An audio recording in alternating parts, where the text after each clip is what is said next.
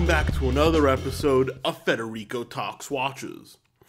Now, today I wanted to talk about something I definitely wanted to add to my collection, and that is a world time watch. A world time watch, of course, a step above GMT, um, usually displayed with date discs, and you can tell the time in multiple different cities, either by the quick turn of a crown or by the click of a button. Now, for you guys that know uh, that know me or have watched the show for for quite some time, you know that the only passion I have that's probably bigger than horology is traveling. I love traveling. I love exploring. And a world time watch is something I definitely want, even though I'm not doing too much traveling right now because, you know, I'm starting a new business and uh, I just don't have the time. Maybe a world time watch on my wrist uh, will keep that passion alive. I mean, it'll always be alive, but it's just, it's a cool thing to have. I find it a romantic complication. It's mixing my two biggest uh, passions into one. And I don't know, I'm just kind of corny like that. so today we're going to talk about my top five best world time watches. Of course, before we get started, customary wristwatch check. I'm wearing the Rolex Submariner Hulk today. A really sticky and humid day in Miami. Perfect day to wear the Hulk. And of course, for all you Rolex lovers, I wanted to let you know I have the full gamut of Rolex sports watches ceramic submariners, GMT Masters, Milgauss, uh, Explorer. I'm I don't have a Daytona right now. All of that and more at Delray Watch Supply, delraywatch.com, my website where I buy, sell, and trade pre owned watches. And also, if any of you guys is looking for an Omega Speedy Reduced, I just put one up uh, on special. Check out the hot deal section. Once again, delraywatch.com. All right, guys. So these are in no particular order, and I'm gonna give you the five, my top five world time watches, and I'm gonna explain why they made this list. Number one has to be the Patek Philippe 5130 World Time. Now, Patek Philippe actually invented this complication, I believe, in the early 2000s, and the 5130, in my opinion, is by far the best iteration of the complication. There have been three generations. The one previous to this, which is, uh, you know, it's considered by far the worst iteration. It's very, uh, it's inexpensive compared to the rest. It's also very, very small. The proportions weren't right. Then we had the 5130, which is the one I love, with the great crown guards, a little bigger case, that round hour hand, and now there's a new version as well with a completely different case shape. However, the 5130 is my true love. Of course, my favorite, not counting the enamel dial ones, which go for hundreds of thousands of dollars, is the platinum version with the blue dial. This is a fantastic watch. Precious metal only, micro rotor movement. Uh, you know, the multiple time zones changed with a click of a button. Patek Philippe seal. Does it get much better than this? Of course, these are not inexpensive. They start at about $30,000. However, for you guys that want a beautiful watch with the same complication but don't want to spend as much, this next one is perfect and it's still haute horology in my book. And here we have the Girard-Perregaux WWTC.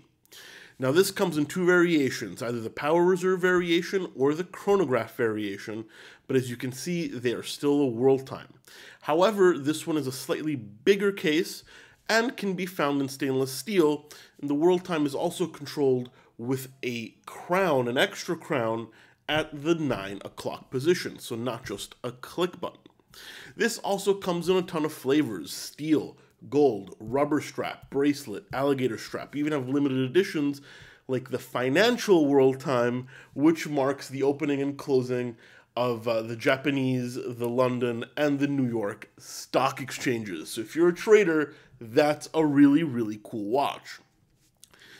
This guy can be had uh, around six or seven thousand pre-owned, and it's still horology. I mean, Girard Perregaux, maybe not a brand that is uh, as well known as some of the others on this list, but what can we say? I mean, their loss is your gain. Now we have uh, another fantastic version by a great brand, uh, and that is the Jaeger-LeCoultre Master Geographic. This is a beautiful watch. Um, it is it comes in 39 and 40 millimeters. There's also the sector dial version. This is also changed. The world time is also changed with the crown up in the top left hand corner. However, it does not have the world time disc all the way around. It has a window at the bottom which shows the world time, but it is not fully exposed. And of course, it has a second timing window with minute and hour hand to tell the time. I like this. It really cleans up the world time dial. However, I much prefer the open look just because, as I said, I'm obsessed with traveling. I like to see all the city names. But for you guys that are a little bit more OCD, you want a cleaner look, then this might be the perfect watch for you. And this one, brand new, I believe is like 8900 so uh, as you can see, doesn't break the bank. JLC in-house movement, automatic, also comes in gold and steel you know, what can we say? Jaeger-LeCoultre Master Geographic might be the perfect home time watch or world time watch for you. Now we have the most inexpensive version on this list, and a watch I know very well because I uh, was working retail back when it came out, and it is the Nomos Zurich Weltzeit, or the Nomos Zurich Home Time. Uh, this is uh, Nomos in-house movement.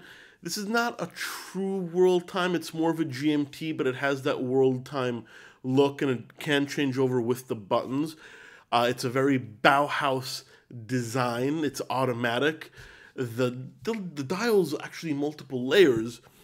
I quite like it. Uh, the minimalist look, the Bauhaus look might not be for everybody, but at around 45 to $5,000, it's really, really hard to complain. The Zurich is also the perfect case size. I believe it's a 41 and a half. I'll look it up to correct me though if I'm wrong. And you know, for the modern world time, it's perfect. It comes on a shell Cordovan strap, which is horse leather, the only leather that actually gets better with age, in my experience. Also, a very under the radar look. Nomos, um, you know, not very well known either, and certainly not in the same price bracket as Girard Perregaux, this one is perfect if you want something that flies under the radar. And now, last on this list, uh, is not the most famous world time, but some arguably may say is the best world time out there. And that is the Lange 1 time zone. Just like Patek Philippe, precious metal only, but this one is a manual wind. It's a Lange one, you know, with the big date, the power reserve, but it also has the world time feature with the click button, just like the Patek.